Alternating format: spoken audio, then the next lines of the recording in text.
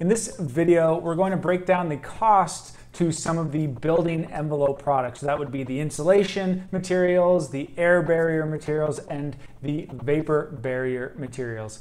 We will do this by showcasing three different wall assemblies that we've built over the last couple of years.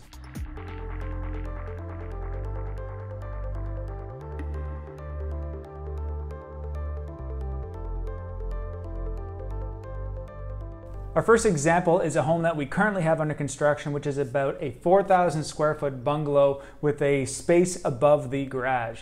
The target for this project is to be net zero energy ready, and it has a R value for the walls of about R34. I'll work from the exterior to the interior, not including any finishes on either side. So the exterior insulation that we have on this project is three inches of Rockwool comfort board, and that costs about $3.60 per square foot and gives us an R value of 12. Behind the insulation, we have the weather and air barrier, which is the Adhero, and that costs about 83 cents per square foot. The Adhero is then applied to the OSB, followed by the 2x6 framed wall, which we have an R22 Rockwool comfort bat in, costing approximately $2.13 per square foot. Our smart vapor barrier is Intello Plus, and that runs about 64 cents per square foot. So the total material cost for this project is $7.20 per square foot for that envelope. Remember, that is materials only, that is not the labor.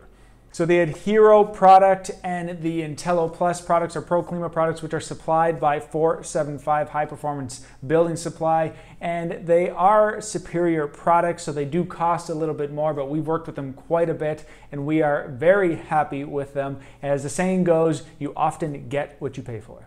Our next example is a 3,800 square foot home that we had built within the last couple years, and the wall assembly on this is about R38. To achieve this wall assembly, we used four inches of XPS insulation on the exterior for an R value of 20, which right now is priced at about $5.87 per square foot. The Adhero was applied to the OSB similar to our last example as the weather and air barrier, and that runs at 83 cents per square foot. Between the 2x6 studs, we had R18 of spray foam insulation, which worked out to $3.31 per square foot. But this is the one cost that does include labor, as you're not going to go out and buy a spray foam truck and do it yourself. We then use just a regular 6 mil poly for the vapor barrier, and that runs at just 5 cents per square foot. Now in this home, because of some design changes that happened on the fly, as well as how the design overall worked out and where we knew we had some weak points, we also brought in a product called AeroBarrier. They brought our ACH from 1.7 down to 0.5. Uh, and that cost to do that was 66 cents per square foot, but they did give us a discount as it was the first time that we had used them on one of our projects. So in total, the cost for this assembly was $10.72 per square foot. Now, this is not a wall assembly that we would typically recommend, but when we were building this house, it was at the height of the pandemic when delays were at their peaks and prices were at their peaks and everything was all over the place, and we were just trying to figure out how to navigate through all of the craziness that was happening in the world. So we ended up with this wall assembly partly to save costs and partly to keep the project moving along as well. And all of the products that we selected were all approved by the client for this project.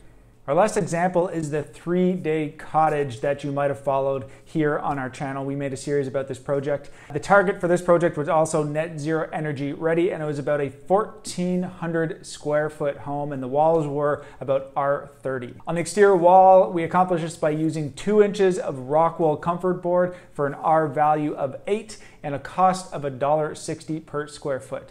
We used ProClima Mento Solitex 1000 as the weather barrier over the OSB, and that comes in at 47 cents per square foot. And between the studs, we had five and a half inches of Rockwool Comfort Bat, which gives us R22, and that is $2.13 per square foot. Our smart vapor barrier was also our air barrier in this case, and we use the Intello Plus, which costs 64 cents per square foot for a total wall assembly cost of $4.84.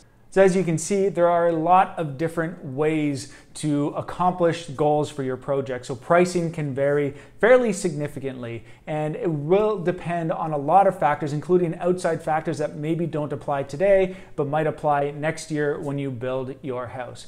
So keep this all in mind when you're working with your contractor. It's not necessarily a simple answer. It was fairly simple at this point to figure out pricing for materials, but the other side of the equation, which is not factored in to this video here, is the labor. Each one of these products is gonna have a different amount of labor that needs to be associated with it, or it might need to be a specialty installation company like a spray foam company that has all the equipment to do that. So not something you can necessar- necessarily do yourself on a large scale. So all of these things are important and all of these things need to be factored in and planned for accordingly.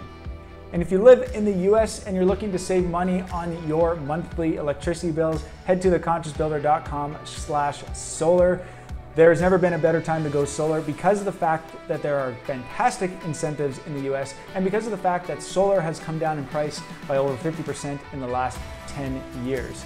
Just go to theconsciousbuilder.com slash solar to see if your home qualifies. And don't worry if you're concerned about the upfront cost because there are fantastic financing opportunities that will still allow you to save money and not pay any money up front. Once again, that's theconsciousbuilder.com slash solar. Until next time, I'm Casey Gray, and remember to live consciously.